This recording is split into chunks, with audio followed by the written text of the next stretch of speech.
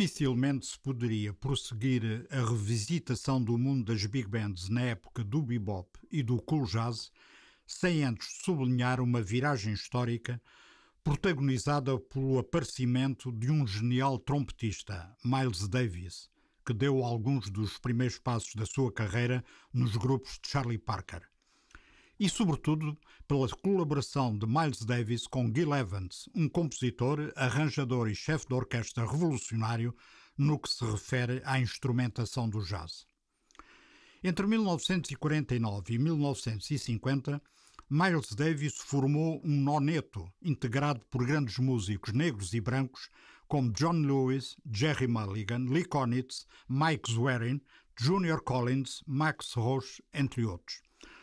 Um noneto destinado à gravação em estúdio de um disco histórico intitulado The Birth of the Cool.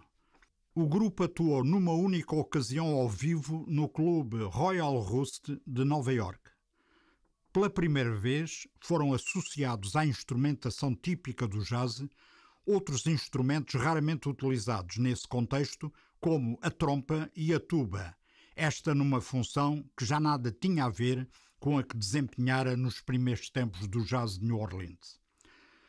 Miles Davis rodeou-se de um grupo de arranjadores excepcionais empenhados no propósito de inventar novos sons, novas associações de instrumentos capazes de criar uma espécie de jazz de câmara. Em meados dos anos 50, o mesmo Gil Evans, que participara em The Birth of the Cool, prosseguiu a sua frutuosa colaboração com Miles, mas agora num contexto diferente, no âmbito de uma grande orquestra que viria a gravar alguns álbuns famosos. Mais uma vez, o trompete solista surge na exposição dos temas e depois nos próprios solos perfeitamente integrado no todo orquestral, por vezes fazendo a nota mais aguda ou pelo menos mais saliente dos vários aglomerados instrumentais.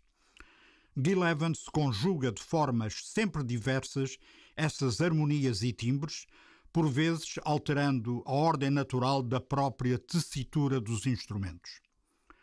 Da colaboração desses dois grandes músicos nasceu uma adaptação instrumental da ópera Porgy and Bess, com música de George Gershwin, arranjos de Gil Evans, tendo Miles Davis como solista. Dessa histórica gravação selecionamos Bess You Is My Woman Now.